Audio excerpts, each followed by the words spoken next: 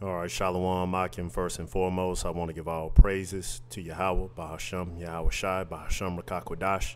Double honors to our elders, the apostles of Great Millstone, and honors to you brothers who are out there doing the work in sincerity and in truth. Okay, this lesson is entitled Being Cool with the World is Not Being Cool with the Lord. Okay, see, a lot of people, especially even when it comes to brothers and some of you sisters out there, when you first come into this truth, you still have a lot of the world left in you. And see, when we come into the fear of Yahweh Hashem Shai, we learning his ways and we're being purged of all these different impurities that the world contaminated us with. So it's always best to stay away from it. See, the spirit of this world is folly, death, destruction, lust. It's all about chasing money, getting material things, just so the flesh can be happy.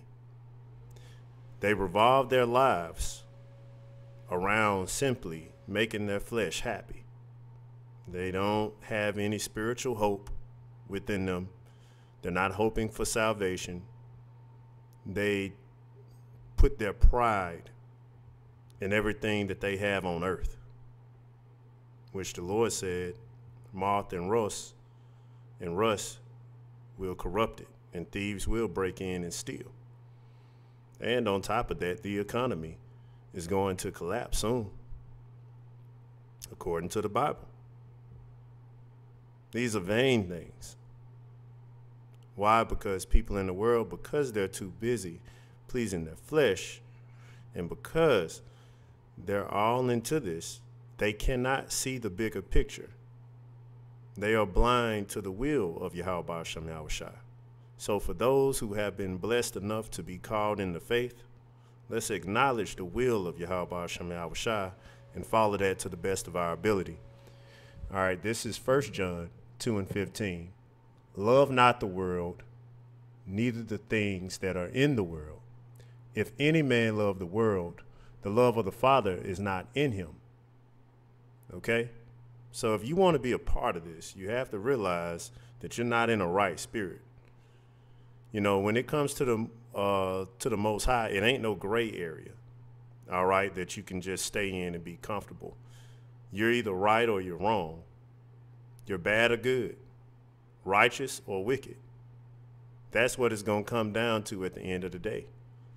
Do you serve Yahweh Shem Yahushai or not? You being cool with somebody that's in the truth don't get you there. All right? You have to be serving Yahweh Shem Yahushai.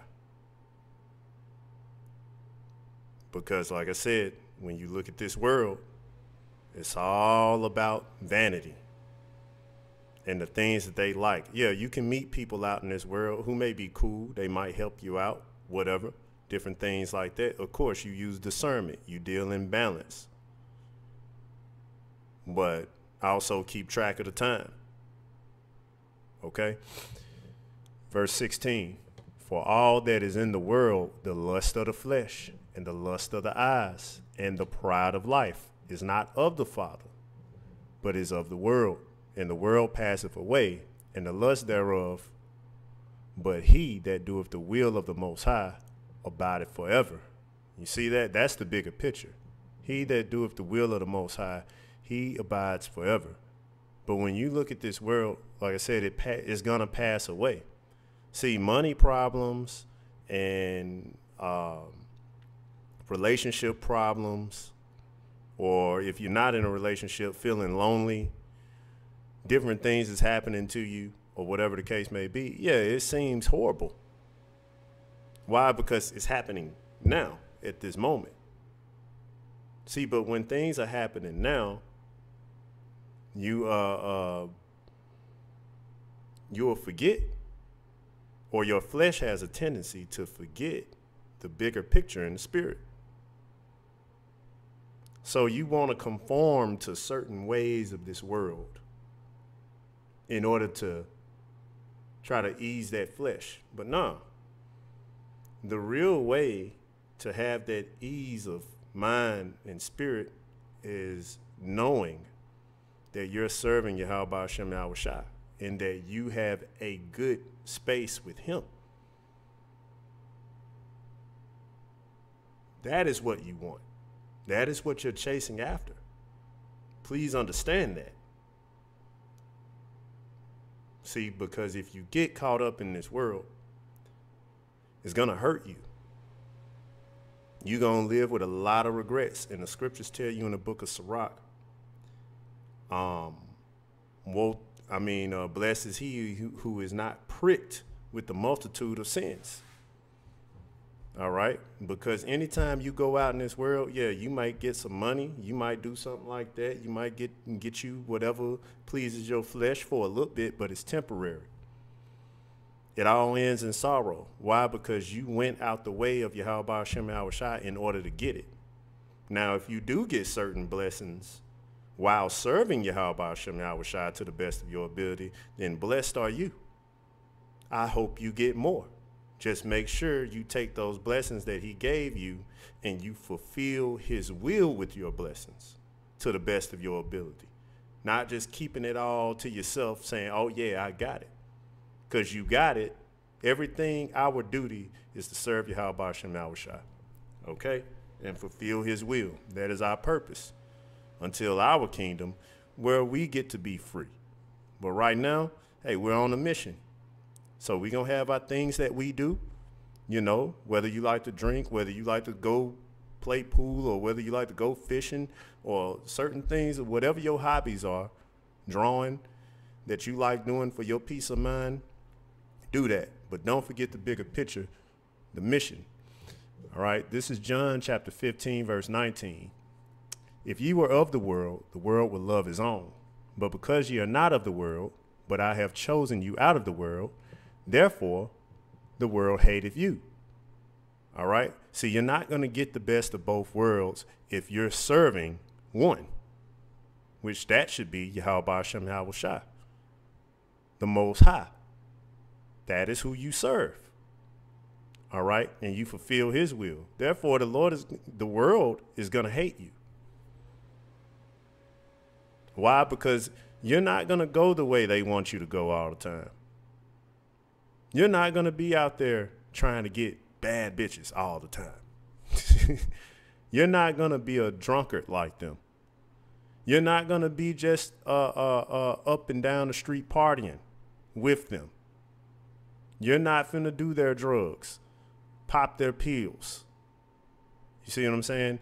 You're not about to do these things. All right? you're not you're gonna do the, you're gonna keep the sabbath you're not gonna be around talking about hey what we doing for thanksgiving y'all can host at my house like no you're not doing any of that and if you are you shouldn't be correct it if that's something that you're doing keep it in order keep it simple man serve your how Shem Shad. Hey, these people not gonna get along with what we get along with, man, if they in the world. Okay? Uh, verse 20 Remember the word that I said unto you The servant is not greater than his Lord. If they have persecuted me, they will also persecute you. They have kept my saying, they will keep yours also. So this is about the elect, man. All right. So if you serving Yahweh Hashem to the best of your ability and you get persecuted for it, you have to remember that's part of this, man. That's part of this. That's of the world. That persecution that you're getting, that's what they're gonna do. Why? Because when you in this truth for a while, you reach those moments where you have to make a decision. It ain't no peaceful decision. It is a yes or no. It is right or wrong that you're choosing from, left or right. And you going if the spirit is in you of integrity and serving the Lord, then you're going to have to choose right. And that might not make everybody happy. But who cares? If the Lord didn't care, neither should you. So keep pushing. Don't worry about what these people think. All right? Because through the example that you set by doing right in the faith, hey, it might have saved their life. They may come into the faith later on down the line, if the Lord will it. But if not, hey, they have no cloak for their sins or whatever situation it may be. But always do right, man. Revert back to this. This is your comfort. This is your happiness. You have to realize how much you are winning when you have this truth. Don't be in the mindset of uh, most women.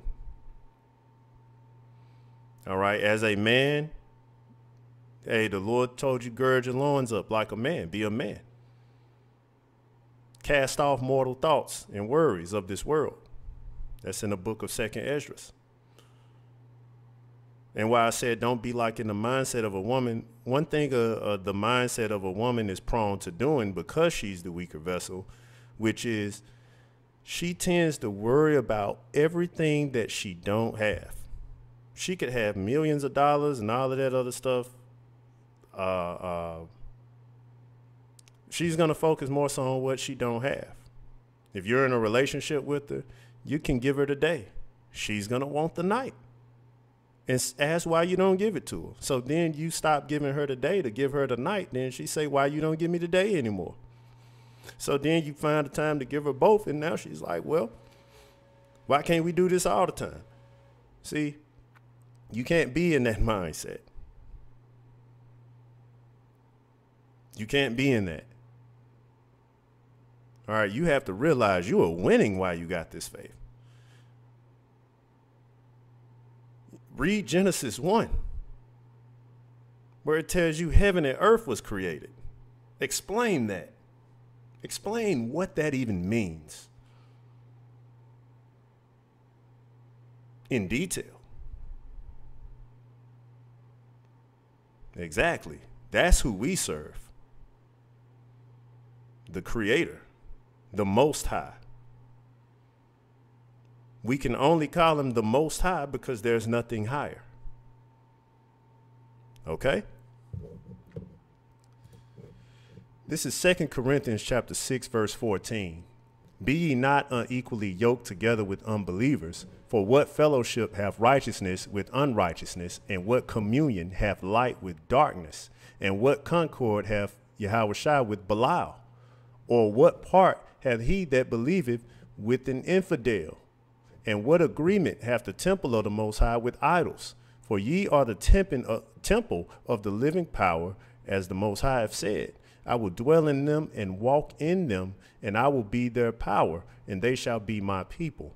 Wherefore come out from among them and be ye separate, saying the Lord, and touch not the unclean thing, and I will receive you, and will be a father unto you, and ye shall be my sons and daughters, saith the Lord Almighty.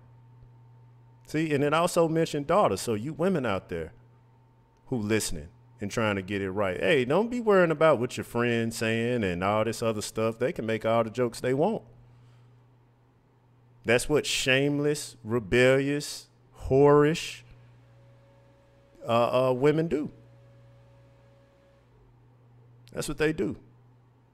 And you brothers out there who this is mainly for, as you can see with this, hey, don't be unequally yoked with them. Now, it's one thing, you know, you, you might have to work with them or you handle business with them or you might go to an event, your family there, certain things like that. Like I said, deal with wisdom. You know, we can't hold your hand through stuff like that. Why? Because you need to know who you serve. And if it's that easy for you to fall off into this uh into the world just because somebody done offered you a, a, a, little bit of temptation that you know, then this this probably not for you. So you're gonna have to strengthen up. Can't worry about these things, man. You can't do that. All right. Don't you want to be received? The Most High said, if you, in verse 17, wherefore come out from among them and be ye separate, saith the Lord, and touch not the unclean thing, and I will receive you. All right? Don't you want to be received of Yahweh Hashem Yahushua? Let yourself know that at the end of the day, when you did something, when you was serving the Lord to the best of your ability, you and have that faith, like Lord, I'm happy to serve you. I hope you receive me because this is where my heart is at. Talk to yourself about that stuff sometimes, man. Keep your spirit straight, man. What these people got out here ain't ain't it ain't worth nothing, man. And when you just watch it long enough and you, and you see it, it's vanity. It's all vanity, man. Pride, egos, changing. There's no loyalty either. You just, ugh, there's no loyalty just nothing but drama and talking behind each other's back and all types of things that, that, that, that these people in the world do, man. It is annoying. So don't get caught up in that. And I just got a couple more scriptures. Um, this is James chapter 4, verse 4. Ye adulterers and adulteresses, know ye not that the friendship of the world is enmity with the Most High? Whosoever therefore will be a friend of the world is the enemy of the Most High. All right, you need to remember that. Okay, you're the enemy of the Most High if you're trying to be cool with these people on this side. Scriptures say, be peaceful with all men. All right, so be at peace with them. Handle your business, you know, be at peace. You can be cool. Like I said, can't hold your hand through it. You have to know who you serve at the end of the day. You know? Or else you'll make yourself an enemy to the Most High, and that's something you don't want to be. You might as well be on Esau's side. That's why you see some of these guys who, uh, when they fall out the truth, and you got some of these people that's just out there, they're scoffers. And some of these guys who done fell out of truth, they become a scoffer. Why? Because they done made themselves an enemy of the Most High. And I bet if you look in their lives, nine times out of ten, they really just a nigga out in the world.